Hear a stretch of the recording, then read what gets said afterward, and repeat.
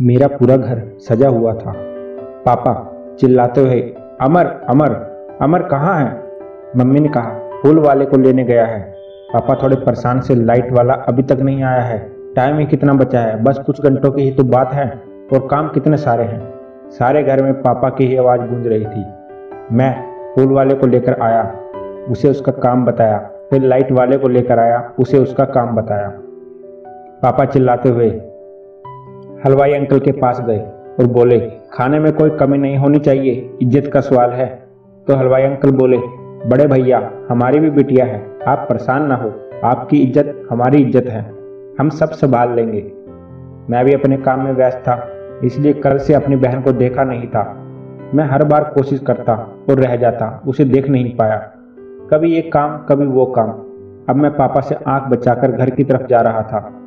घर पहुंचकर जब बहन के कमरे का दरवाजे को खोलना चाहा, तभी पापा की आवाज़ आई। अमर, कहाँ है? और मैं उन्हीं पाँव बिना बहन को देखे वापस आ गया। आकर पापा बोले, बाज़ार चला जा। मैं बाज़ार गया, सामान लाया। उसके बाद फिर मैं घर गया तो आँगन में मेरी बहन बैठी हुई थी। उस पर हल्दी लगाई जा रही थी और उसके चेहरे पर काला टीका लगा था। वो ऐसा लग रहा था जैसे चाँद पर दाग लगा हो।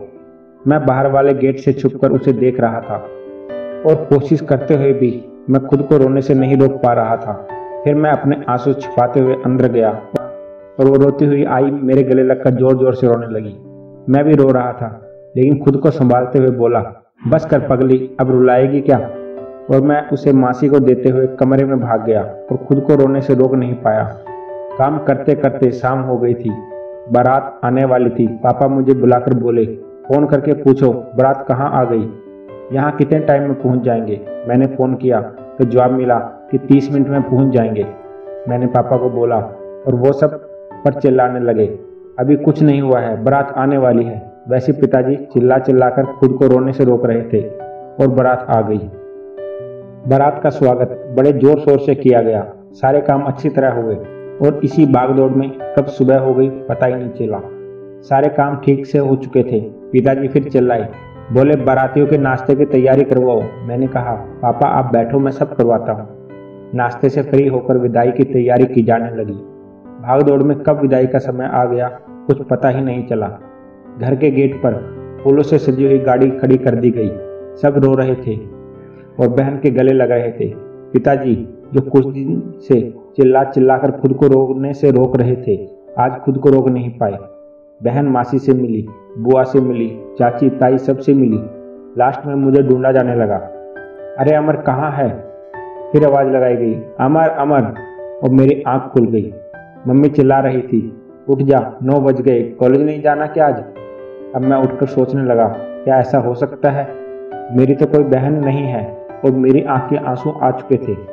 मैं उठा, तैयार हुआ, नाश्ता किया और कॉलेज चला गया। वीडियो अच्छा लगे तो लाइक ज़रूर कर देना और कमेंट करके बताना कि ये वीडियो आपको कैसा लगा। और हो सके तो इस वीडियो को शेयर कर देना ताकि और लोगों को भी इसका फ़ायदा हो। और अगर आपको इस तरह की वीडियो पसंद हो तो चैनल को सब्सक्राइब करना मत भूलना।